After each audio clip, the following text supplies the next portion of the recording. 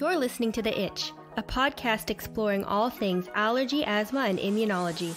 I'm your co host, Kortney, a real life allergy, asthma, and eczema girl. And I'm your second host, Dr. Payal Gupta, a board certified allergy, asthma, and immunology doctor. Kortney and I hope to balance each other out so that we get you all the information that you want and need about allergies, asthma, and immunology.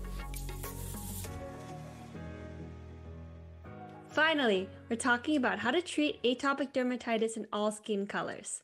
If you've been following this current Atopic Dermatitis in Skin of Color series in partnership with the Allergy and Asthma Network, you know we've talked about what atopic dermatitis is, how it's diagnosed, and strategies to keep your skin as healthy as possible. If you're just tuning in, you may want to jump and listen to those other episodes for a base understanding of AD in Skin of Color, because we have a huge amount of information to cover today, and we're not going to go over the basics.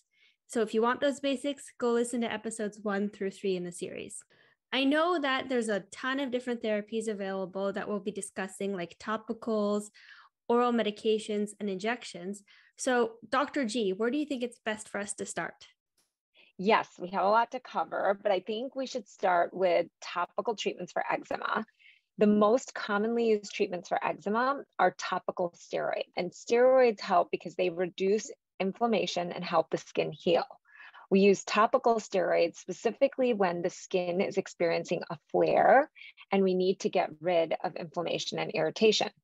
There are different strengths or potencies of steroids, and your doctor will help you choose the potency based on how severe your eczema is and actually the area that you're trying to treat.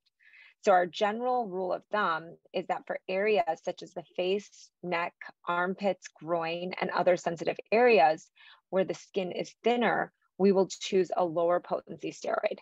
The rest of the body can handle a higher potency if necessary. What I'm hearing is that a topical steroid treats inflammation.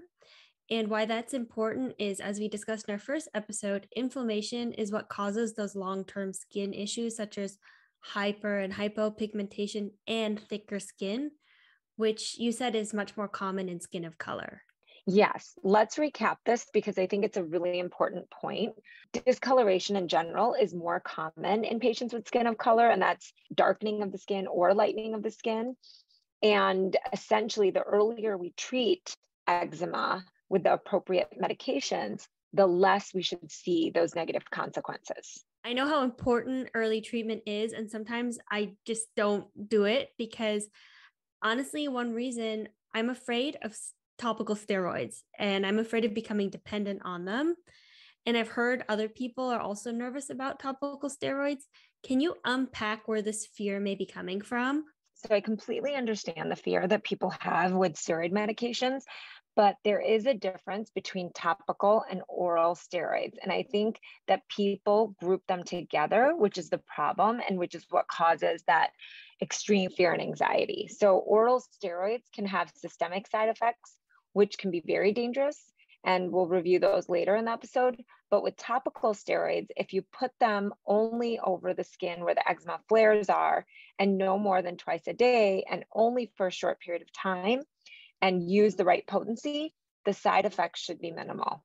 And that's really our goal with therapy. So, most of the time, the skin will improve markedly within a couple of days just with bathing, steroids, and ointments. But sometimes you need to slowly taper the frequency of steroids to prevent the skin from flaring again. There is a risk of skin thinning and a change of color in the skin or an acne type reaction with topical steroids, but we generally see that if you aren't using the steroids as prescribed. If you see these side effects, it's best to stop the medication and talk to your doctor. Most of these things will resolve over time after you discontinue use of the medications. In addition, most of these side effects will present in more sensitive areas like the eyelids, face in general, and then the genitals. It is important also to remember to monitor the side effects from any medication that you use. And it's important for patients to remember that talking to your doctor to request a change in therapy earlier is better than later. So, the bottom line is that we shouldn't really be afraid of topical steroids. And I can say that I overcame that fear and I have had the first few itch free days in years. One big thing and one reason I had this fear is I've heard a lot about topical steroid withdrawal. This has also been popping up on my social media feeds a ton, and I think it's a contributing factor to this fear of using any form of medication to treat my atopic dermatitis. So, can we just talk a little bit about topical steroid withdrawal? Yeah, so this topic is interesting. Withdrawal from topical steroids happens after using steroids for a prolonged period of time, which is considered two weeks or more. So it sometimes occurs after less than two weeks of use, but generally it's seen in patients who use topical steroids daily for two months or more. And we see a varying constellation of signs and symptoms, including erythema or redness, burning, stinging sensation, itching, pain, and facial hot flashes. And these symptoms occur days to week after steroid discontinuation and are more likely to occur on the face or genitals. As far as how long the withdrawal symptoms can go on, it's really variable. The skin can take months to years to return to its original condition, which I know sounds very scary. And then the duration of the steroid use may influence the recovery time. So, patients who use steroids for a longer time more consistently report the slowest recovery. Is there any way to know if this may happen to you? I mean, if you're tapering your steroid use and you're following everything correctly, is there still a sign that could tell you if you're going to have topical steroid withdrawal or not? Yeah, so there's no way to tell if you're going to get withdrawal symptoms, unfortunately. But I think that the rule of thumb is that it is best to use topical steroids for a short period of time and only in the areas that are necessary. And sometimes what happens is that patients come in after using the steroids for a long time. And that is when I try and have them start tapering. So, tapering should hopefully prevent the occurrence of withdrawal. So again, not using them for consecutively for long periods of time and then tapering how you're doing it, meaning that you're slowly using a smaller amount, going from twice a day to once a day to every other day. That's what we mean by tapering. Following those kind of things will help reduce the possibility that you would have steroid withdrawal. Thank you for explaining tapering and why it's so important to do that instead of just stopping. Once your skin gets clear, you just stop your creams, but why you have to continue even though your skin looks clear. I know it's very tempting to just stop. I've had that feeling. I just wanted to ask you a question about something like hydrocortisone cream because I know that that's an over the counter cream that you can just buy at the pharmacy or the drugstore.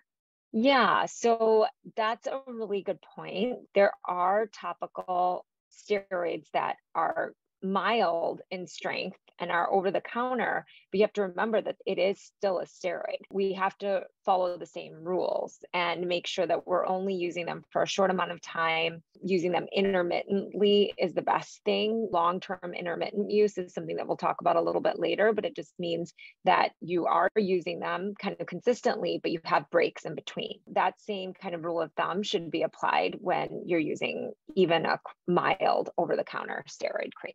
Great. So I just would love to recap because I know that topical steroids are something that's always top of mind for people with atopic dermatitis. So what I'm hearing is that topical steroids come in many different potencies and that your doctor will help you determine which one is the best for you based on your specific case. We don't want to use topical steroids for a prolonged period of time and they should only really be used on the areas that you have your eczema Finally, we should not be afraid to use them because the earlier you treat your inflammation, the less you'll have long term effects like discoloration or thick skin.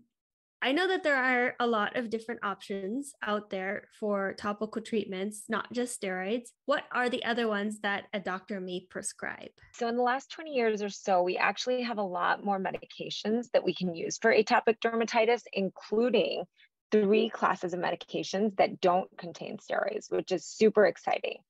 One is called calcineurin inhibitors. You may have heard of tacrolimus or Protopic and Elidel or pimecrolimus. There's also phosphodiesterase 4 inhibitor, which is crisaborole or Eucrisa. And lastly, the newest on the block are topical JAK inhibitors. So all of these medications are great, in my opinion, because they can help patients keep their skin healthy so that we don't need to use topical or oral steroids. So if you haven't been offered these medications, it's very important to ask your doctor or consult with a specialist to see if this might be an option for you. I think we'll list those in our show notes because those are some epic words that I will not remember. so we'll definitely have those in our show notes. And since they're not steroids, which is really cool, what should people know about them? So, for instance, should they also be used in short periods of time? And of course, what are their side effects? Yeah, so we can quickly talk about each of these categories, but they are all very different medications. For tacrolimus and pimecrolimus, these medications can be used intermittently like steroids, but can also be used in what I was talking about in that intermittent long term way, which means that we use them once a week in areas that are usually problematic for us, and then continue that once a week use. But then there is like a big gap in between where we're not using them you know, the most common side effects are transient burning, redness, and itching in the areas that you're using them in. But they've also been linked to cancer, but these concerns haven't completely been validated. And I've never seen it in my practice. But again, limiting the use to only select areas for short periods of time or using them only once a week to keep the skin under control are usually my recommendations. And again, the risk of cancer really hasn't been completely established. I use it on myself and recommend it all the time, but with anything, limiting its use is best and not applying it all over. For Eucrisa or crisaborole, this is more of a daily ointment that can be used to improve the skin barrier it's applied twice a day to the areas that are affected by atopic dermatitis. It actually doesn't have too many side effects. Some people have burning with it and can't tolerate it, so they're not good candidates for it, but it isn't associated with any other larger negative side effects. And lastly, there are new JAK inhibitor medications that help tamp down your overactive immune system. So topical JAK inhibitors are used like tacrolimus and pimecrolimus for short-term or long-term intermittent use. And again, like any other topical agent, some people don't respond well to these medications as others do, but in general, they are well tolerated. And I feel that in patients with skin of color, it is especially important to add in these alternative medications in between and during flares so that we can prevent the disease from getting to the point of a, a, severe flare, which leads to the skin discoloration and the thickening that we had previously discussed. So that was a lot of information. And again, we'll list all of those just because those names are hard to remember, but they're definitely something good to keep in mind to talk to your doctor about. Did we cover all types of topical medications then? Yeah, so I think we can move into oral medications that patients may be prescribed. Let's first discuss oral steroids since we've kind of already touched on them. So, oral steroids should be reserved, in my opinion, as last resort. But unfortunately, patients get them prescribed often, and that happens more in the emergency room or urgent care centers, and also sometimes with primary care physicians. And that leads to patients over relying on these therapies. Oral steroids work quickly, they really feel like a miracle drug. But we now know that oral steroids have a lot of risks associated with them. You know, we do need oral steroid medications for many conditions, including atopic dermatitis, and especially when we're having severe exacerbations. They're absolutely needed at times, but ideally, they should be reserved for very short term use and not prolonged use, and definitely not over and over again, meaning not weekly, not monthly, really just not even more than once a year, and ideally, not even once a year it sounds to me like you should really avoid going to the ER as much as possible because they might not be giving you the right treatment. And oral steroid it might not be what you need. You might just need to be on a topical treatment. Is is that correct? Yeah. So essentially what I want people to remember is that the ER and urgent care centers are really there for emergencies. Things like not breathing well, having a finger chopped off, you know, lots of emergency kind of situations. And these doctors are really good at helping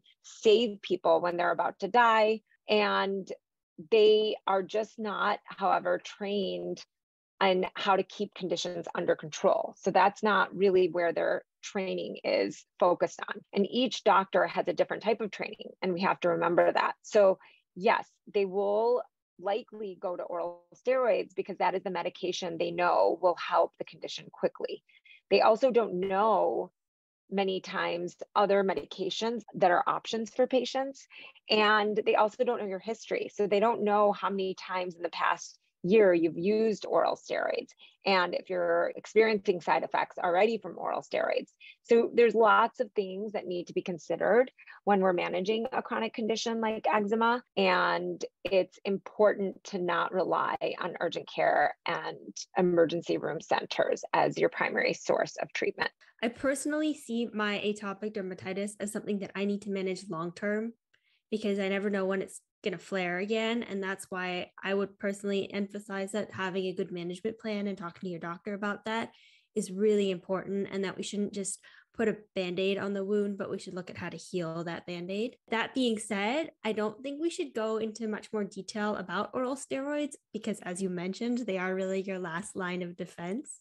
Another medication that I've heard people being prescribed for their AD are antibiotics. Can you explain why we would be getting antibiotics for our skin? Yes. So antibiotics should also be rarely used in patients with atopic dermatitis, but they might be needed when the skin gets to the point of infection. So we want to remember that with the itch, scratch, rash cycle, we can also have another element to that, which is that broken skin barrier and dirty nails leading to infection. That's where we end up needing to use antibiotics. Yeah, I've heard of people getting staph infections. So this might be one of the reasons why they get staph infections with AD. Yeah, so staphylococcus, which is what staph is shortened for, is a common cause of these infections. We all naturally have bacteria on our skin. Again, sometimes we scratch so much that we can introduce a bad bacteria into an area where the skin is open. So you can get things like cellulitis, which is an inflammation, swelling of the skin with redness, swelling, and sometimes even a fever with an infection. And then that can also lead to infections in your bloodstream, which can be very scary. You can also get more of a superficial infection, which is called impetigo, and the skin looks like it's got honey crusting over it and it's inflamed. We treat all of these with antibiotics, both topical and oral. And sometimes actually doing dilute bleach baths once or twice a week may decrease the need for antibiotics and reduce the incidence of these infections. I've definitely heard of bleach baths that work to eliminate the bad bacteria on your skin. However, I was always worried it would like bleach my hair. I can totally see why people might worry that bleach would discolor their hair or even their skin. But I want to calm everyone's fears. Bleach does not do anything like that. It can be used in all skin types and bleach baths are very safe to use. We haven't really gone into it, but we can put a recipe for bleach baths into our show notes. You don't use straight bleach on your skin you have to put it in a large amount of water you put a small amount of bleach in a large amount of water and then you know you only soak in it for a very specific amount of time. So we'll definitely outline all of that in our show notes but i just wanted to mention that too is that we're not putting direct bleach on our skin. And the reason for that is because it can cause burning and it, it's a very toxic substance. So it can't just be used directly on the skin like that. Yeah, that makes a lot of sense. I just think of bleach and I think of that little skull with the crosses. so having a bath in that just does not seem like something anyone wants to do. Back to oral medication. So I have been prescribed antihistamines for my AD, and this is more of a selfish question. Is that a normal part of eczema management? Antihistamines don't have a lot of good backing in atopic dermatitis, but first generation antihistamines, meaning the older antihistamines like Benadryl and hydroxyzine, the ones that can cause more sedation, are thought to help more with atopic dermatitis. And I think that's mostly because they put you to sleep and you don't get bothered by the itching as much, which helps stops that itch rash cycle. Since antihistamines are relatively safe to use, I always do give them a try to see if it'll help with people's symptoms, but it's not a surefire way of getting rid of eczema. Oh, that's interesting because I've been told to take my antihistamine before I go to bed. Hmm. that makes sense now. Are there any other oral medications that can be prescribed for AD or have we covered them all? Yes, actually, there is a new kid on the block, and it's the JAK inhibitor in the form of an oral pill. So, this just came out this past year, and we spoke about them earlier in the topical medication section, but they help tamp down your immune system. They are used for moderate to severe eczema where other treatment options haven't worked.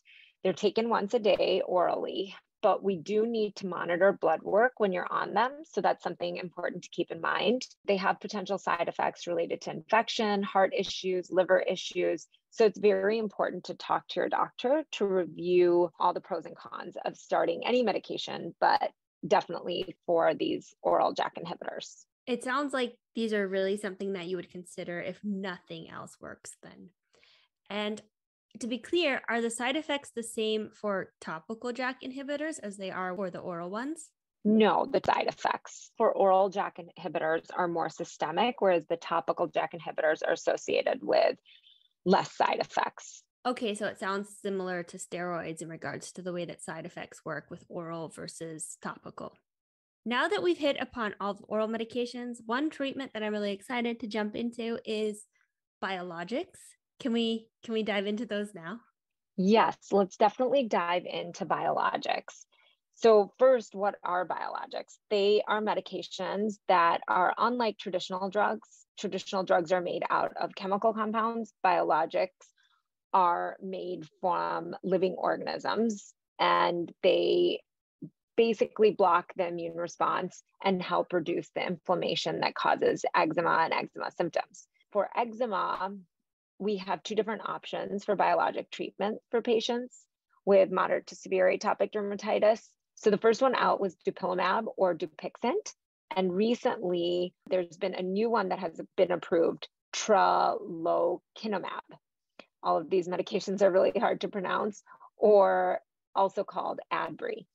And so dupilumab has recently been approved now for as low as six months of age and older. And tralokinumab is only approved for adults or 18 years and older.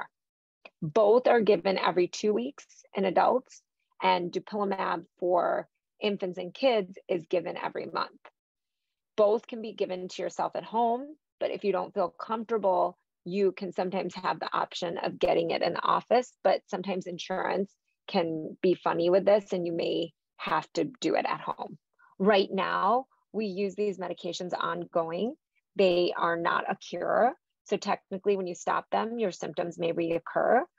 However, sometimes patients want to see if they can tolerate waiting three weeks or four weeks as an adult to get the medication and see if their symptoms are still controlled. And I'm always open to trying that because less medication is always the best. Are there side effects that we should know about for these two different types of biologics? Yeah, so for any medication, you can have a reaction to the medication like anaphylaxis, but that is rare and you don't have to carry an EpiPen around when you're on these medications. So what's interesting is that with dupilumab for atopic dermatitis patients, we see a severe dry eye as a side effect that doesn't appear in patients who are being treated for asthma, for example, with dupilumab. We also see a similar side effect for tralokinumab is that there is this kind of dry eye or this conjunctivitis that can occur within the eye. So, with any medication, when patients have that severe dry eye, they have to figure out is that dry eye so severe that they can't live with it? And there is treatment for the dry eye. So, oftentimes I co manage the patient with an ophthalmologist and they can get treatment for the dry eye and continue the biologic treatment but you know obviously it's a conversation if the dry eye is more severe and more debilitating for the patient then they might choose to come off of the treatment. Okay that's good to know. It's good to know that the side effects are also something that you can treat and that it's not like two really kind of bad things that you're juggling but it's it's all doable. I know that we did discuss biologics with shiv Shiv has been contributing to this podcast series with telling us about her story of living with atopic dermatitis. She has a really good clip about her whole treatment process, but also about biologics. And we're going to throw that in here because not everyone can afford biologics, and Shiv jumps into that in her conversation with us. So let's hear from Shiv, and we'll talk a little bit more about affordable ways to treat AD. So I've been on topical steroids since I was a baby, and I've only ever I try to avoid oral steroids as much as possible. Only if I'm having very severe asthma do I go on to oral steroids when the asthma pump is not working and I need to take something a bit more stronger. But a lot of the times, a lot of eczema treatments are really expensive. So my allergist recommended wet wrapping to me. It's the most affordable treatment I've ever done you start off by applying a thick layer of emollient, and I prefer using creams to lotions. And then you use a wet bandage or tight piece of clothing that will cover the specific area. You use another bandage or piece of clothing, but this one will be dry and you place it on top of the wet layer. I love this treatment because I was a broke student who saved up just enough money to see a specialist, but I didn't have enough for expensive treatment. So she helped me find a way where I can still try manage my eczema as well as keeping it affordable. So you've been on topical steroids. So the topical steroids, and then sometimes you get oral steroids for your asthma, which also helps your eczema. And then you said that you have the weeping type of eczema. So have you also been on a lot of antibiotics? Do you get infections frequently? Or how has that been for you? So I haven't had infections very frequently. The most recent one was when I was 18. I have I have scalp eczema and I scratch it a lot and I get a lot of cysts all around my scalp. And uh, so I go to the doctor a lot to extract those cysts out and a lot. And then, so when I was scratching one of my scalp eczema, it got infected and had to go on antibiotics for that. But that's the most recent one. Other than that, I haven't had any infections.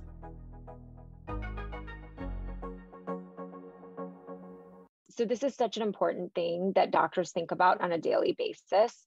We have to kind of juggle the medications that we know might help with also what is covered by insurance that the patient has and how affordable is the treatment option going to be for the patient. And so that's really a juggling act that we have to do every day i think for most doctors. And i really do love things like wet wraps because anyone can do them and they're very affordable. But we can see shiv is very motivated and she's excited about doing things that might help her skin and treatments like wet wrap therapy really do require a lot of motivation. I also wanted to mention that we don't recommend doing wet wraps when you use calcineurin inhibitors or phosphodiesterase 4 inhibitors that we talked about earlier, but it is safe to be used with a low dose topical steroid or just those emollients, lotions and creams and like Vaselines and things like that. That's good to know. Again, we'll list those so you know what Dr. G is talking about when she talks about uh, calcineurin. you see, I can't even remember how to pronounce it. Okay, I have one more question about other therapies that aren't medication, but that can help you. Because I've seen a lot about light therapy. Can you talk to us about what that is? Yes, there are studies to show that the use of phototherapy can help with adults. We don't use this for babies or kids. It's a treatment that is done with a doctor in a doctor's office, and we use what we call narrow band UVB. So it's a specific type of light that is different from sun exposure. The sun is made up of UVA and UVB rays. So it's not the same thing as what you're getting when you're getting phototherapy from the sun, for example. And what we know is that this specific narrowband UVB light is designed to reduce inflammation, lessen the itch, and boost the body's bacteria fighting ability in hard to control eczema. So it's important to notice that this treatment is can be great for some patients, but it can be cumbersome. You usually need to go in three times a week for it to be effective. And as we talked about before, we need to think about insurance coverage. And sometimes this treatment is not covered by insurance. And so I don't do this in my particular practice because it requires specific machinery that's very costly. So dermatologists usually have it in their office because they use it for other types of conditions also. Lastly, light therapy may cause hyperpigmentation or darkening of the skin in patients with skin of color. So that's also very important and very important to consider when we're talking about this therapy. Light therapy is not as easy as just going to the tanning salon. And it's definitely something you want to discuss with your doctor if you have skin of color. Yes, a tanning salon is definitely not the same thing as doing light therapy for eczema. so, very important to remember. And it's a totally different machine and a different type of light. So, that being said, I know that there are a lot of machines out there that are being advertised for at home use. And I really don't know if there's very rigorous scientific evidence behind those machines. Because again, like I said, I don't do those myself in my office because the machines that you use are just generally expensive. And so I just want to make sure that people are wary and really doing their research before they spend their hard earned money on things like that. Good to note because I do see a lot of these different machines being advertised, especially on social media. And again it's something that you should discuss with your doctor and you know not all of it is backed by science and you have hard-earned money that you don't want to just like throw away on that note since this has been a long episode i just wanted to mention that our final episode we're going to be talking about shared decision making and how to work with your medical team so that you can take what you've learned today into your next appointment and feel more empowered about managing your AD and having more of an engaged discussion with your doctor. So thanks everyone for listening. And we hope that you've learned something new today. Remember, we have three more episodes if you listen to this and now want to know more about the basics on AD. Thank you for listening to today's episode. Remember that all information you hear today is for informational purposes only and are not intended to serve as a substitute for the consultation, diagnosis, and or medical treatment of a qualified physician or healthcare provider. And also, don't forget to subscribe to our podcast. And if you have a second, help spread the word by rating our podcast and sharing with your friends and family who might also be interested in learning more about allergies, asthma, and immunology. You can always stay up to date by checking out our Instagram, the Itch Podcast, where you can leave questions you are itching to know, or check out our website, which is www itchpodcast.com, which contains more information about the subjects we covered in today's episode and every episode. Until next time, have a fabulous week.